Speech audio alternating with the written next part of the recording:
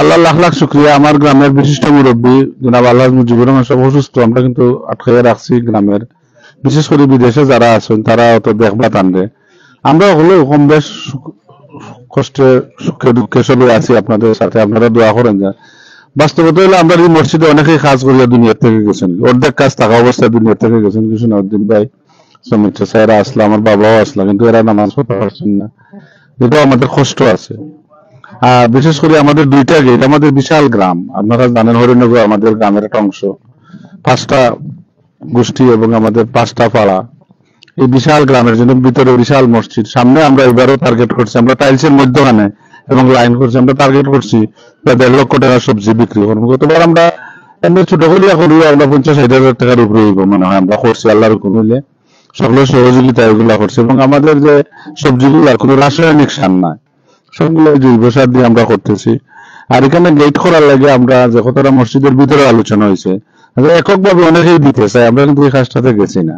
আমরা আমরা যদি যারাই আছি, সকলে আমরা অংশগ্রহণ করতাম। আমাদের আত্মীয় স্বজন সহ, আমাদের মেয়েদিন যারা আগেও টাকা দিচ্ছেন আমাদের ঋণী করিয়া রাখছেন এবং আল্লাহর গড় মসজিদ বানাইতে সহযোগিতা করছেন, আল্লাহ কবুল করতাম আমরা এই গেটটা আমরা সকলে মিলে করতাম। এটা করার পরপরই আমরা পূর্বের দক্ষিণের যে গেটটা হরিনগর থেকে যারা আইন বা আমাদের সিংবার থেকে যারা আইন, তাদের তো ওইদিকে রাস্তা, এটাও আমরা করে নিতাম। আমরা আশা করছি ডিসেম্বরের ভিতরে ইলেকট্রিকের কাজ উপরে দিয়েও দেখা উপরে দিয়ে এই এই গেটটা কিন্তু একটা বিশেষায়িত গেট এই গ্রামের। মানুষের মনে আরও উদার এবং গাম্ভীর্য বাড়ানো হলো। এটা মক্কা মদিনার মধ্যবর্তী যে গেট সেই গেটের প্যাটার্ন এখানে করা হয়েছে।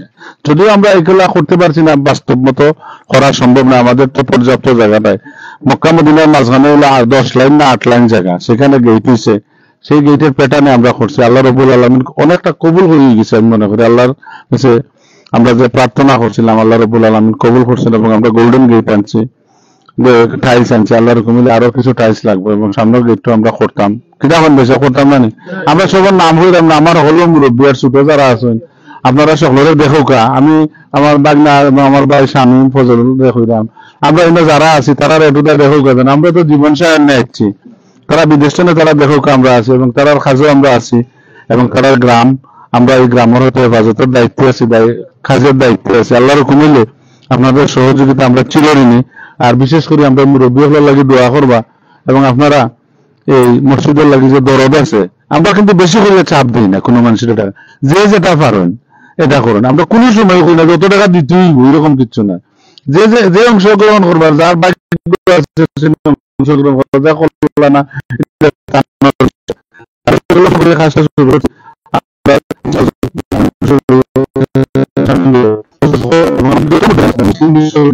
সংক্ষিপ্ত একটা দোয়া করে নিবা আমার প্রিন্সিপাল الله على سيدنا مولانا محمد وعلى آله وأصحابه وسلم أستغفر الله إن الله غفور رحيم أستغفر الله إن الله غفور رحيم أستغفر الله ربي من كل ذنب اللهم آمين الحمد لله رب العالمين والعاقبة للمتقين والصلاة والسلام على سيد المرسلين وعلى آله وأصحابه أجمعين আয় আল্লাহ আরহামুর রাহিমিন আয় আকরামুল আকরামিন আল্লাহ মুবারক চন্দ মুবারক দিন ইয়া আল্লাহ সমস্ত গ্রামের মুরব্বিয়ারা একত্রিত ইয়া আল্লাহ আল্লাহ তোমার ঘর মসজিদ ইয়া আল্লাহ টাইসের খামর উদ্বোধন করলা ইয়া আল্লাহ আল্লাহ তুমি উদ্বোধনী খামর কবুল আর মঞ্জুর ফরমা আল্লাহ মসজিদ আল্লাহ যত মানুষের দান খয়রাত করছেন দেশ থাকি বিদেশ থাকি আল্লাহ।